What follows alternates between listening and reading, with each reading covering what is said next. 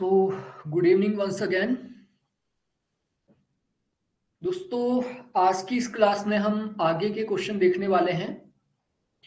और पहला ही क्वेश्चन आप अपनी स्क्रीन पे देख पा रहे होंगे। माओ से रिलेटेड क्वेश्चन है। ओके माओ से रिलेटेड क्वेश्चन है, माओ क्रांति को अत्यंत आवश्यक तत्व मानता है। उसके अनुसार क्रांति द्वारा गृह युद्ध कराए जाने चाहिए। देखिए, क्रांति को माओ ने काफ़ी इंपॉर्टेंट माना और क्रांति के द्वारा गृह युद्ध कराए जाने चाहिए, ये पिछले कल भी हमने देखा। उसने सर्वहारा वर्ग को क्रांति की संचालन शक्ति माना और सर्वहारा वर्ग में किसान और श्रमिक दोनों आ जाते हैं। माओ ने केवल श्रमिकों को क्रांति का साधन बताया, ये बिल्कुल गलत है। केवल श्रमिकों को नहीं, इन्होंने किसानों को भी बात किसानों की भी बात की थी तो ऑप्शन तीन तो गलत है। उसने किसानों में क्रांतिकारी कार्यवाही करने की क्षमता स्वतंत्र रूप में मानी, यानी किसान अपने आप से स्वतंत्र रूप से आंदोलन करेंगे, ये भी गलत है, क्योंकि उन्होंने साम्यवादी पार्टी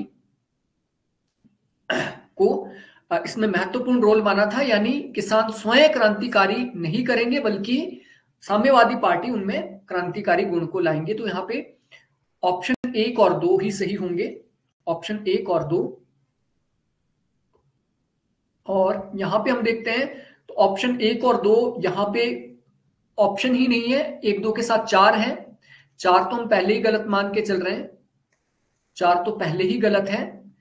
और इसके साथ साथ ऑप्शन तीन भी गलत है। ठीक है दैट्स मीन ये सारे ऑप्शन गलत है। इसका करेक्ट आंसर ऑप्शन एक और दो होगा।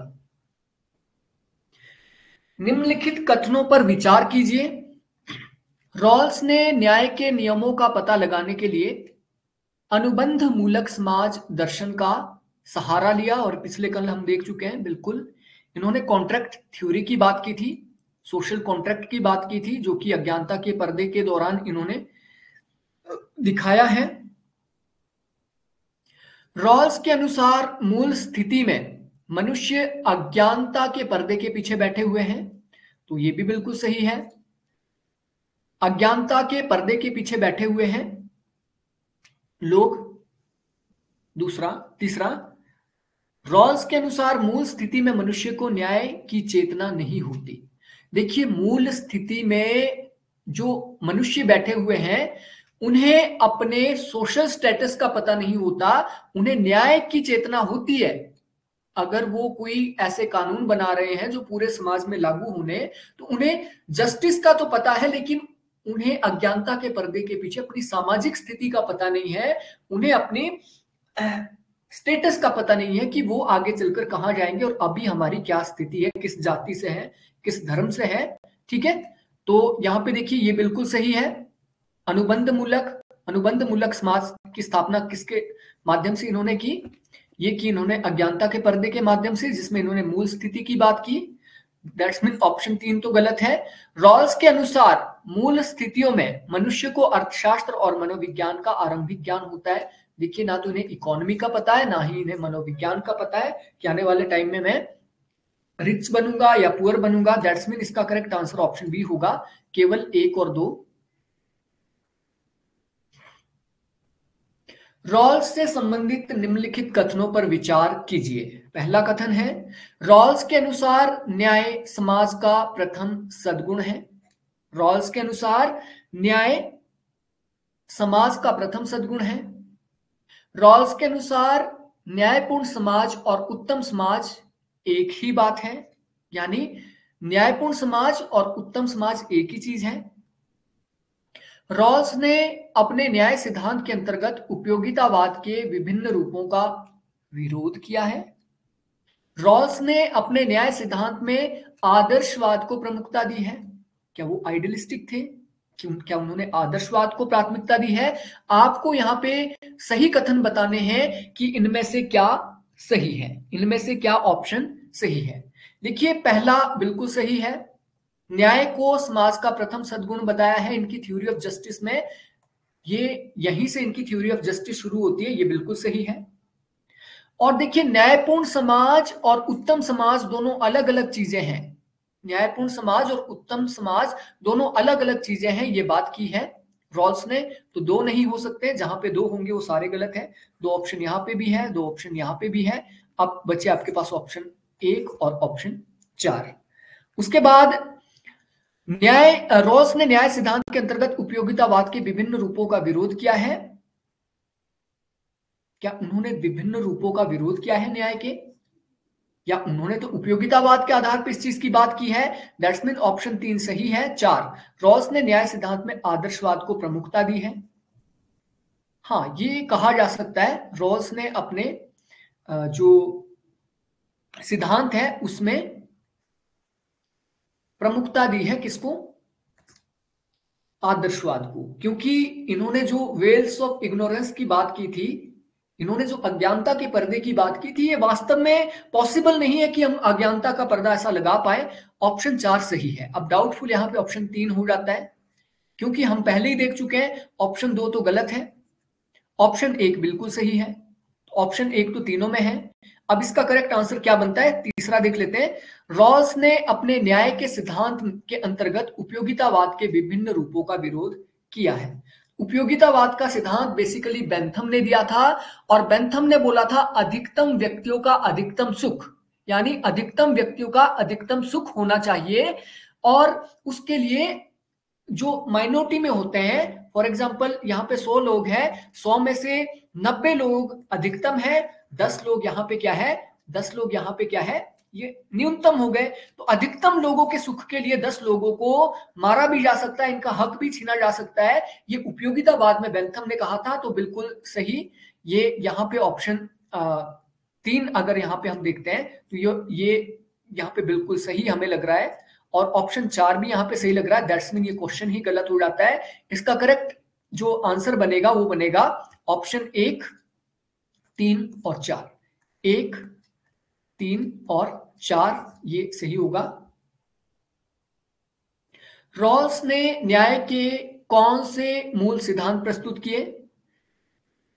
न्याय के मूल सिद्धांत, समाज स्वतंत्रताओं का सिद्धांत, सामाजिक आर्थिक विषमताओं का क्रम विन्यास, उपयोगितावाद का खंडन या आदर्शवाद को प्रमुखता। और पिछला क्वेश्चन भी यहाँ से वेरीफाई हो जाएगा जो हम सोच रहे थे क्या वो सही था या नहीं था, ठीक है?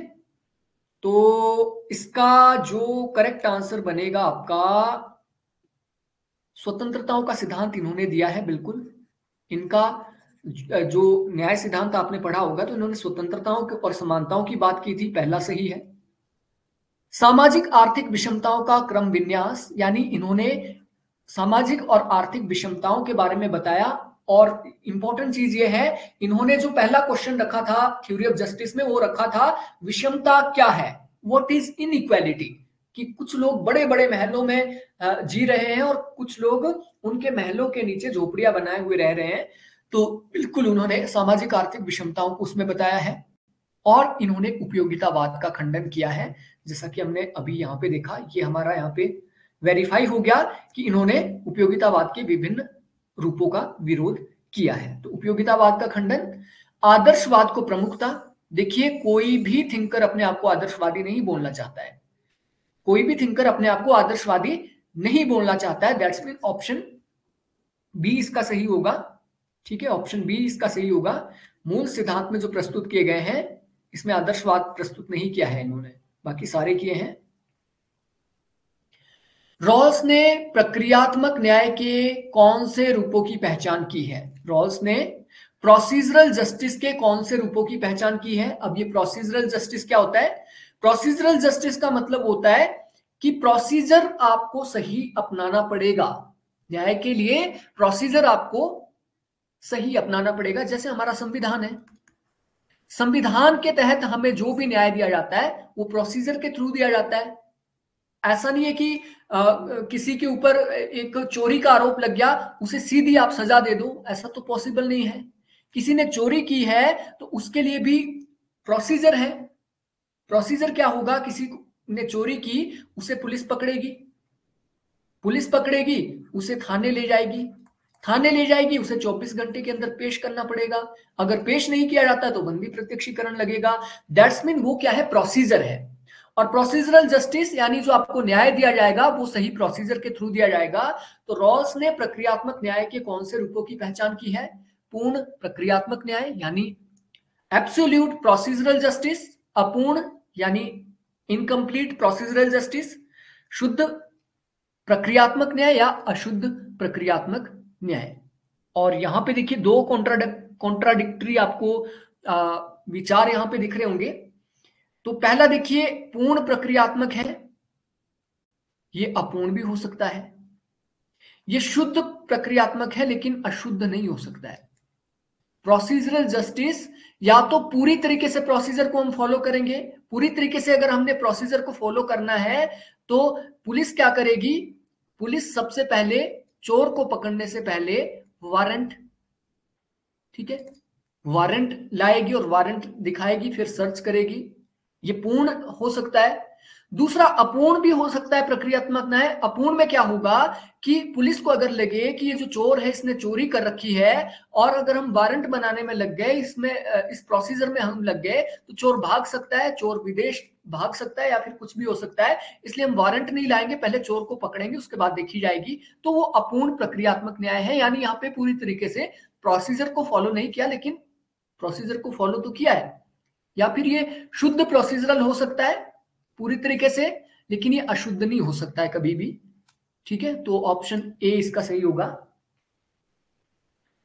रॉल्स ने न्याय सिद्धांत के अंतर्गत न्याय के कौन से लक्षण स्वीकार किए हैं? न्याय सिद्धांत के अंतर्गत कौन से लक्षण या कौन सी विशेषताएँ स्वीकार की है? न्याय समाज का प्रथम सदगुण है, ये हम पहले ही देख चुके हैं।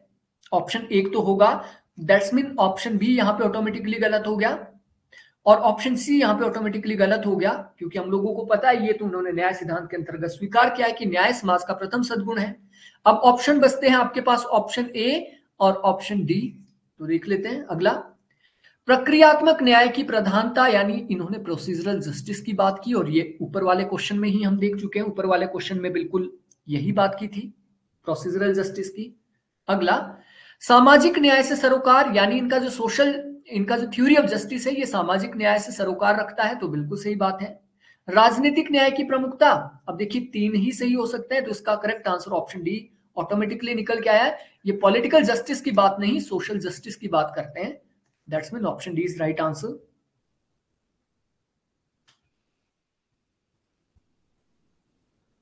okay आप लोगों के कोई क्वेश्चन है तो आप क्वेश्चन बिल्कुल साथ साथ पूछ सकते हैं। बिल्कुल option D is right answer Hannah Arendt ने मनुष्य की गतिविधियों को किन स्तरों पर पहचान की? श्रम, कृत्य, कार्यवाही या क्षमता? इसका करेक्ट आंसर क्या होगा? इसको हम डिटेल में देख चुके हैं, बताइए। हन्ना आरेंट ने जो एक्टिविटीज़ को डिवाइड किया है, वो तीन भागों में डिवाइड किया है। कौन कौन सी? श्रम, बिल्कुल सही। ऑप्शन सी श्रम कृत्य और कार्यवाही option option C right right answer of this question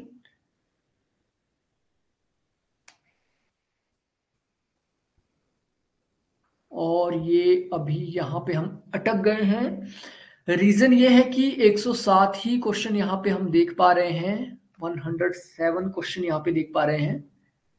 पुराने क्वेश्चंस देखने होंगे, कहाँ होंगे 107 से आगे की।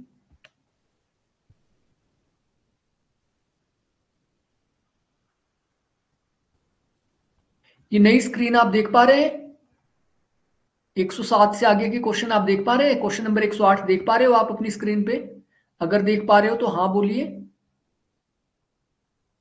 तो हम आगे चलेंगे। ओके, ठीक है। ठीक है क्वेश्चन नंबर 108 है। आरंट के अनुसार सर्वाधिकारवाद के प्रमुख उदाहरण कौन से हैं? अन्ना आरंट ने सर्वाधिकारवाद के जो प्रमुख उदाहरण बताए हैं, वो आपको बताने हैं। नाजीवाद, स्टालिनवाद, व्यवहारवाद, उपयोगितावाद, ऑप्शन दो ही इसके सही होंगे। देखिए, उपयोगितावाद कभी भी सर्वाधिकारवाद नहीं होता है तो ये ऑटोमेटिकली चार यहाँ पे तो ये गलत हो जाता है। व्यवहारवाद भी नहीं होता है, जहाँ पे तीन है, वो ऑटोमेटिकली गलत हो जाता है। दैट्स मीन इसका करेक्ट आंसर क्या हो जाता है? ऑप्शन ए ऑप्शन ए एक और दो, यानी स्टालिनवाद और नाजीवाद, इन दोनों को उन्होंने सर्वाधिकारवाद, यानी टोटेलिटेरियन रिजिम माना था। माओ ने असंगति के सिद्धांत का प्रतिपादन करते हुए किनके मध्य असंगति का वर्ण वर्णन क्या है? देखिए, जो असंगति का सिद्धांत है, असंगति का सिद्धांत वर्ग संघर्ष का सिद्धांत ही है। यहाँ पे आपने बिल्कुल कंफ्यूज नहीं होना। असंगति का सिद्धांत, यानी जैसे आपके पूंजीपति और मजदूर के बीच असंगति का सिद्धांत काम करता है, यानी इनके कोई और इंटरेस्ट है, इनके कोई और इंटरेस्ट है, इनके बीच आपस में वर्ग संघर्ष रहता है तो असंगति का सिद्धांत वही है, वर्ग संघर्ष।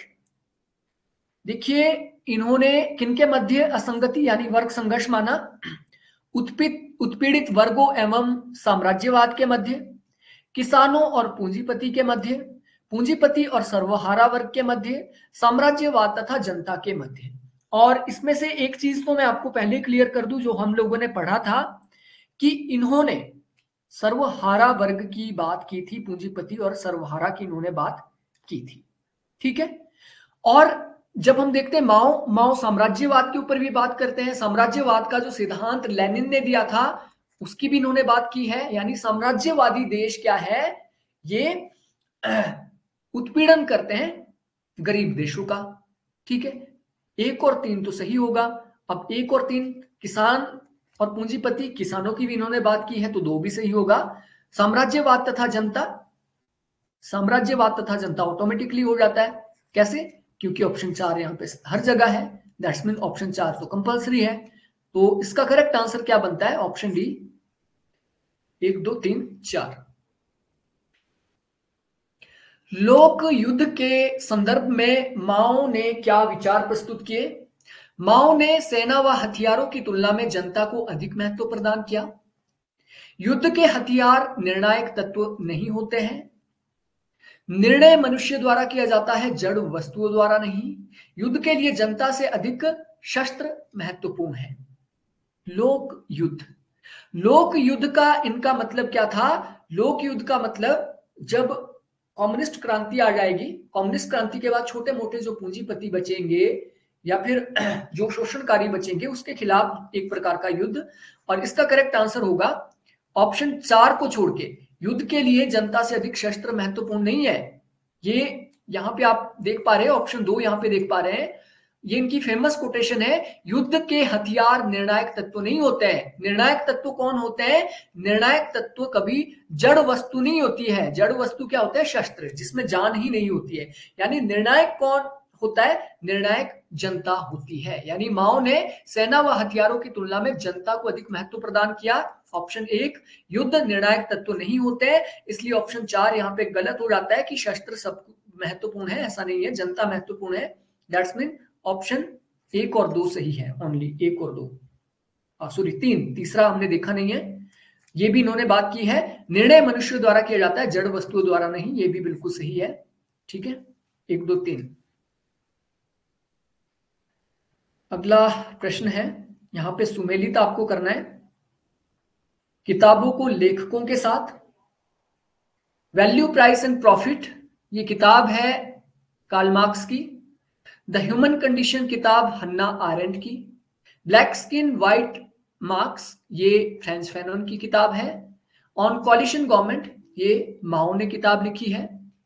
इसका सही सीक्वेंस बनता है ऑप्शन बी हन्ना आरेंट की निम्नलिखित पुस्तकों को क्रम में व्यवस्थित कीजिए। Origins of totalitarianism human condition between past and future on revolution और जब हम देखते हैं हन्ना आरेंट को तो हन्ना आरेंट ने सबसे पहले जो किताब लिखी थी, जो हमने पढ़ा था, सबसे पहले इन्होंने टोटेलिटेरियनिज्म की बात की थी, इन्होंने ओरिजिन ऑफ़ टोटेलिटेरियनिज्म की बात की थी। क्यों? क्योंकि इन्हें मूलभूत तौर पे या फिर बेसिक तौर पे इन्हें जाना किस लिए जाता है? टोटेलिटेरियनिज्म के ऊपर। टोटेलिटेरियनिज्म के बाद फिर इन्होंने ह्यूमन कंडीशन की बात की। ह्यूमन कंडीशन में ही इन्होंने एक्टिविटीज़ की बात की थी between past and future on revolution ये सबसे लास्ट में आती है, ठीक है? और ये, कम से कम आपने वन लाइनर जो आप पढ़ रहे हैं, उसमें आपने इसकी डेट्स वगैरह सब कुछ देख लेना एक बार। उत्पादन के साधनों के आधार पर मार्क्स के ऐतिहासिक भौतिकवाद की अवस्थाओं में निम्नलिखित में से कौन सा कथन सही है? किसके ऊपर? ऐतिहासिक भौतिकवाद कौन सा कथन सही है? दास व्यवस्था की इन्होंने बात की? बिल्कुल, दास व्यवस्था की इन्होंने बात की। दास व्यवस्था ये कब लाई गई थी? दास व्यवस्था हाँ दास व्यवस्था इसको फ्यूडल एज में ही आती है, दास व्यवस्था। उसके बाद उत्पादन की एशियाई पद्धति या प्रणाली की इन्होंने बात की है, पूंजीवादी युग की भी बात की है, सामंती युग की भी बात की है इन्होंने। तो इसका करेक्ट आंसर होगा ऑप्शन डी ये सभी। ये सभी। यानी इन सभी की इन्होंने बात की है, दास व्यवस्था की बात की है, उत्पादन की एशियाई पद्धति और प्रणाली की भी इन्होंने बात की है, पूंजीवादी युग और सामंती युग, सभी की बात इन्होंने की है।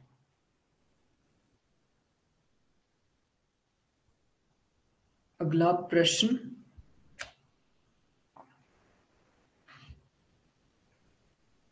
यहाँ पे भी किताबें हैं और आपको मैच करनी है और सारी किताबें यहाँ पे कार्ल मार्क्स की है।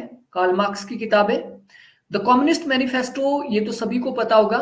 ए का दो तो यहाँ पे देख लीजिए ए का दो कहाँ पे है? सिर्फ़ यहाँ पे है। तो एक से ही आप इसका आंसर निकाल सकते हैं, लेकिन पूरा देख लेते हैं। The critique of political economy 1959 में आती है। The civil war 1871 the holy family 1875 में। और इसका करेक्ट सीक्वेंस ऑप्शन बी यहाँ से नीचे जितने भी क्वेश्चन हैं, ये असर्शन और रीजन के हैं। जहाँ पे असर्शन भी सही है रीजन भी सही है, व्याख्या भी सही है, वहाँ पे ऑप्शन ए आएगा। जहाँ पे असर्शन और रीजन दोनों सही है, लेकिन व्याख्या सही नहीं है, वहाँ पे बी आएगा। जहाँ पे ए गलत है आर सॉरी ए सही है आर गलत, वहाँ पे सी और जहाँ पे ए गलत है आर सही, वहाँ पे डी तो देख लेते हैं। ग्रामशी के अनुसार नागरिक समाज में बुद्धिजीवी वर्ग की महत्वपूर्ण भूमिका होती है, बिल्कुल होती है। नागरिक समाज अपने रचनात्मक नूतन विचारों के आधार पर आधिपत्य की स्थापना करता है। नूतन मतलब नए। तो इसका जो करेक्ट आंसर है, एक बार इसको देख लेते हैं। हाँ ठीक है। ऊपर इन्होंने क्या बात की है? बुद्धिजीवियों की बात की है। और बुद्धिजीवी रचनात्मक काम करते हैं और बुद्धिजीवी ही नए विचार लाते हैं और बुद्धिजीवी के द्वारा ही क्या होता है? नागरिक समाज में आधिपत्य की स्थापना होती है। दैट्स मीन इसका करेक्ट आंसर ऑप्शन ए होगा। दोनों सही है और व्याख्या भी सही है। अगला प्रश्न, हन्ना आरेंट ने अमूर्त विचारों के प्रति अपनी रुचि व्यक्त की? अमूर्त जो विचार है एब्स्ट्रैक्ट जो थॉट्स है, उसके बारे में अपने, अपनी सहमति पेश इन्होंने की है, बिल्कुल की अमूर्त विचारों के प्रति थोड़ा डाउटफुल है? नहीं, अमूर्त विचारों के प्रति इन्होंने सहमति नहीं प्रकट की है। इन्होंने एक्चुअल जो समाज में हो रहा है, मूर्त विचार, ठीक है? एक्चुअल यानी अमूर्त नहीं, मूर्त विचारों के प्रति जिसे देखा जा सके, जिसे समझा जा सके, जिसे महसूस किया जा सके दैट्समिन हन्ना आरेंट ने मूर्त विचारों के प्रति अपनी सहमति व्यक्त की है। दैट्समिन ऑप्शन ए गलत हो जाता है। आर यहाँ पे देख लेते हैं। उनके अनुसार व्यक्तिनिष्ठ अनुभूति को क्रमबद्ध नहीं किया जा सकता, उसको केवल यथार्थ रूप में अनुभव किया जा सकता है। तो यथार्थ रूप की बात तो मूर्त में होती है, ना कि अमूर्त में। दैट्समिन आर सही है ए गलत है। Option D is right answer Arendt व्यवहारवाद को मशीनी कुशलता का प्रेरक मानती है। और ये हम पहले ही पढ़ चुके हैं, बिल्कुल सही। आरेंट ने व्यवहारवाद को मशीनी कुशलता बताया था, जिसे हमने देखा था मैकेनिकल उनके अनुसार व्यवहारवाद, सर्वाधिकारवाद की ओर ले जाने वाली विचारधारा है और जब मशीनी बन जाएगा राज्य, मशीनी बन जाएगा तो वो ऑटोमेटिकली कहाँ पहुँच जाएगा? सर्वाधिकारवाद की ओर बढ़ जाएगा। ऑप्शन ए इसका सही होगा। आरेंट के अनुसार प्राचीन यूनानी नगर राज्य में राजनीतिक जीवन की प्रधानता थी। जो प्राचीन यूनानी वहाँ पे बिल्कुल सही बात है, राजनीतिक जीवन था। और इन्होंने यूनानी राज्यों को बेस्ट माना है। आधुनिक युग में भी ये विशेषता विद्यमान है, ये बिल्कुल गलत है। देखिए, प्राचीन यूनानी नगर को इन्होंने बेस्ट माना था और प्राचीन यूनानी नगर में ही अच्छी स्वतंत्रता मिलती थी, राजनीतिक स्वतंत्रता मिलती थी, लेकिन आज के टाइम पे ये नहीं मिल रही है। तो आज के टाइम में ये विद्यमान है, ये बिल्कुल गलत है। दैट्स मीन इसका करेक्ट आंसर ऑप्शन सी होगा। ए सही है आर गलत है। क्वेश्चन नंबर 120 आरेंट ने मनुष्य की गतिविधि की तीन स्तरों पर पहचान की है, श्रम, कृत्य और कार्रवाई, बिल्कुल सही। आरेंट ने श्रम को उच्चतर स्तर प्रदान किया, यहाँ पे भी आप बोल सकते हैं। हाईएस्ट जो है, वो इन्होंने कार्रवाई माना कार्रवाई माना, लेकिन यहाँ पे श्रम दिया जा रहा है। दैट्स मीन इसका करेक्ट आंसर ऑप्शन सी होगा। ए सही है आर गलत है। आई होप क्लियर होगा आपको। आरेंट ने तर्क दिया कि सर्वाधिकारवाद आधुनिक युग की अभूतपूर्व घटना है। बिल्कुल सही बात, इन्होंने सर्वाधिकार को आधुनिक युग की अभूतपूर्व घटना कहा था और हम ये पहले क्वेश्चन ऐसा देख चुके हैं। चिर सम्मत चिर सम्मत यानी क्लासिकल, निरंकुश तंत्र और निशंस तंत्र के अनुसार इसका विश्लेषण नहीं किया जा सकता। यानी पहले टाइप का जो निरंकुशवाद था, पहले टाइप का जो एरिस्टोक्रेसी थी या ऑटोक्रेसी थी या फिर सर्वाधिकारवाद था, आज के टाइम से पिछले टाइम से इसका विश्लेषण नहीं किया जा सकता है। दैट्स मीन ये एक अभूतपूर्व घटना है। ऐसी घटना पहले इतिहास में कभी नहीं घटी है। That's mean option A A और आर दोनों से ही, और यहाँ पे सही इसका विश्लेषण भी बता रहे हैं कि अभूतपूर्व घटना क्यों कहा। अभूतपूर्व घटना इसलिए कहा, जो क्लासिकल निरंकुश तंत्र था क्लासिकल जो सर्वाधिकारवाद था या निशंस तंत्र था, उसके अनुसार इसका विश्लेषण नहीं किया जा सकता। इसलिए ये अभूतपूर्व है। क्वेश्चन नंबर 122 फ्रेंच फैनन के अनुसार उपनिवेशवाद उत्पीड़न का विस्तृत ढांचा है और इसको भी हम देख चुके थे, बिल्कुल सही है। इन्होंने उपनिवेशवाद को शोषण का एक विस्तृत ढांचा माना। उपनिवेशवाद जातीय और सांस्कृतिक श्रेष्ठता का मुखोटा लगाकर पूंजीवाद के आर्थिक स्वार्थों की पूर्ति करता है। तो उपनिवेशवाद उत्पीड़न कैसे करता है? ये सांस्कृतिक श्रेष्ठता का मुखोटा लगाकर पूंजीवाद के आर्थिक स्वार्थों की पूर्ति करता है और इसीलिए शोषण किया जाता है। दैट्स मीन ऑप्शन ए इसका भी सही होगा।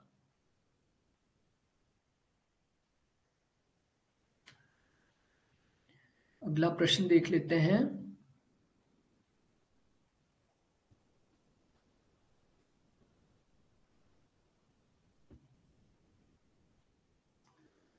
कि ज़्यादा क्लियर नहीं है बट देख सकते हैं इसको। माओ सैनिक एवं राजनीतिक शक्ति में, माओ सैनिक एवं राजनीतिक शक्ति में घन, घनिष्ठ संबंध मानता है। माओ सैनिक और राजनीतिक शक्ति में एक घनिष्ठ संबंध मानता है और बिल्कुल मानता है।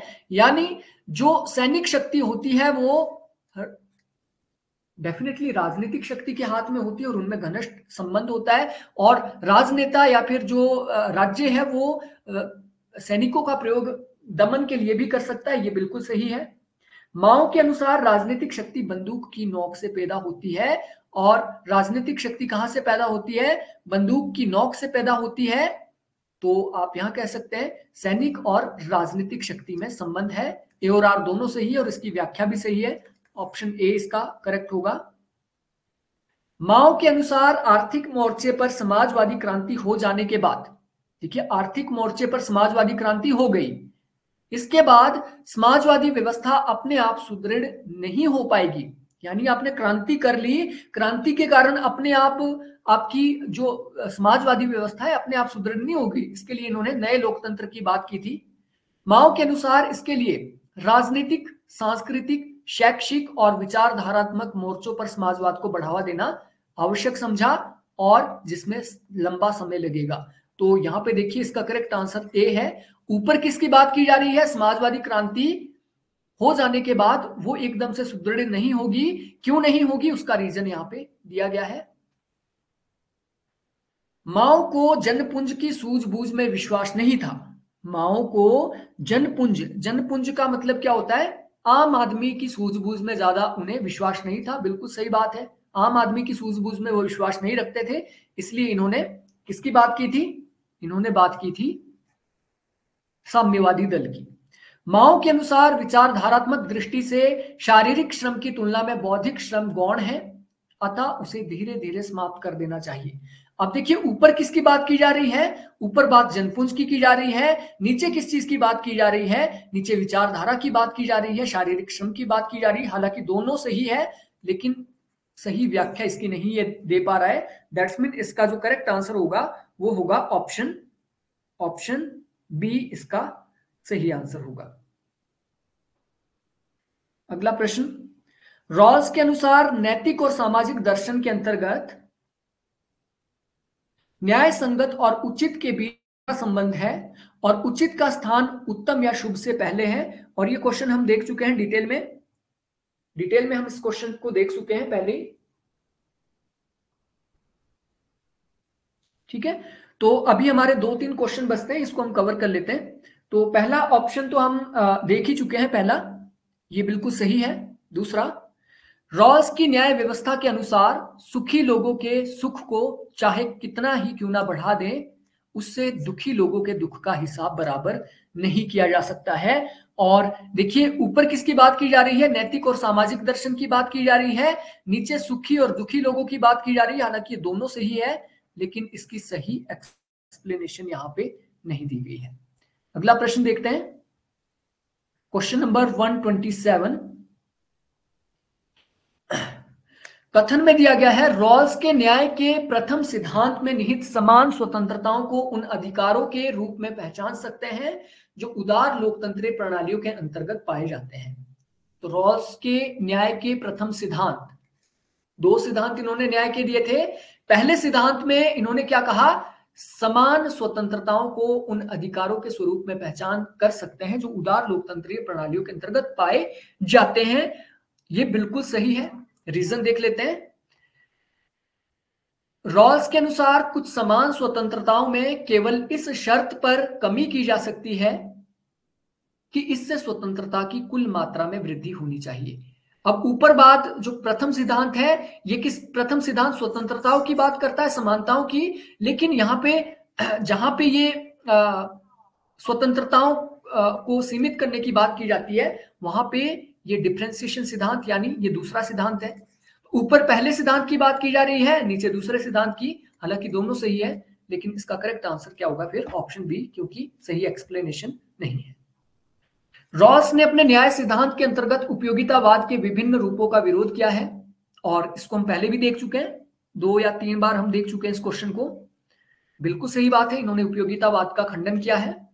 रॉस के अनुसार उपयोगितावाद का ध्येय उपयोगितावाद कहाँ तक सीमित था? कुल उपयोगिता की अधिकतम वृद्धि है, चाहे उसका वितरण किसी भी रूप में क्यों ना हो। दैट्स मीन इसका करेक्ट आंसर ऑप्शन ए होगा, क्योंकि अधिकतम, व्यक्तियों के अधिकतम सुख की बात की थी, हालाँकि उसका वितरण नब्बे लोगों में हो और दस लोगों को आप मारी दो, इस तरीके से। क्वेश्चन नंबर एक सौ उनतीस लास्ट प्रश्न है ये। रॉल्स के अनुसार अज्ञानता के पर्दे के पीछे बैठे मनुष्य, स्वार्थ स्वार्थ परायण तो है, परंतु अहमवादी नहीं है। अब देखिए, रॉल्स ने बिल्कुल सही ये बात कही थी, अज्ञानता के पर्दे के पीछे जो लोग बैठे हुए हैं, वो मनुष्य स्वार्थ परायण तो है, परंतु अहमवादी नहीं। उनके अंदर स्वार्थ तो हो सकता है, लेकिन अहम उनके अंदर नहीं हो सकता है। दो मिनट में जुड़ता हूँ, थोड़ी सी क्लास बची मेरी। रॉल्स के अनुसार, अज्ञान के पर्दे के पीछे बैठे मनुष्य न्याय के नियमों का पता लगाने के उद्देश्य से परस्पर सहमति पर पहुँचने के लिए एकत्र हुए। अब यहाँ पे जब आप देखोगे असर्शन में क्या बात की गई है? रॉल्स के अनुसार, अज्ञानता के पीछे बैठे लोग अहमवादी नहीं है, वो स्वार्थ परायण हो सकते हैं, ये बिल्कुल सही है। रीजन देखिए, रोज के अनुसार अज्ञानता के पर्दे के पीछे बैठे मनुष्य न्याय के नियमों का पता लगाने के उद्देश्य से परस्पर सहमति पर पहुँचने के लिए एकत्र हुए हैं। अब ऊपर बात की जा रही है स्वार्थ परायण कि वो स्वार्थ परा स्वार्थ परायण क्यों है और अहमवादी वो क्यों नहीं है? अगर इन दोनों की बात यहाँ पे नीचे की होती, अगर इन दोनों की बात यहाँ पे की होती तो इसका आंसर ए होता, बट इसका आंसर बी है, क्योंकि दोनों सही है, लेकिन एक्सप्लेनेशन यहाँ पे बिल्कुल भी सही नहीं है। तो ये लगभग हमने जॉन रॉस तक के ये सारे क्वेश्चन हमने देख लिए 129 क्वेश्चन यहाँ पे थे। आगे के जो हमारे क्वेश्चन बनते हैं आगे के जो हमारे प्रैक्टिस क्वेश्चन रहेंगे, उसको भी हम डिस्कस करेंगे।